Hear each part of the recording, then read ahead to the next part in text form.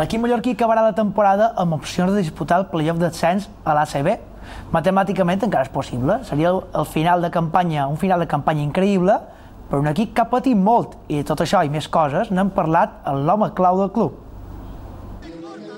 L'entrenador Xavi Sastre ha repassat per televisió de Mallorca l'actualitat de l'equip. Ha estat un sofriment que és que ho hem patit, ho sabem, de, de, del dia a dia era molt dur, molt dur i, i, i poder guanyar qualque partit en aquesta situació que han estat molt de vespres quasi, quasi sense dormir pensant en que jugàvem contra no sé qui que la gent no cobrava i estava emprenyada, que la gent venia a entrenar però estava emprenyada i que en el final han aconseguit l'objectiu.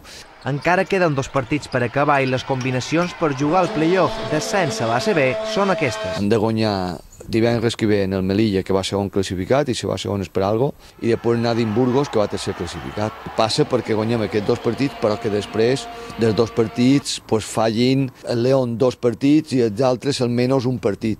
Xavi Sastre també parla del futur del bàsquet Mallorca i de la seva continuïtat al capdavant de l'equip a renovar la meva il·lusió. Jo estic a casa meva, estic molt bé, me sent valorat i me sent estimat inclús, no? però vull, vull xerrar, seure'm amb en Juan, en el president, i, i, bueno, i tancar una sèrie de coses. Quan la Lliga s'acabi, el club haurà de decidir el seu futur, trobar un patrocinador o sofrir una temporada més.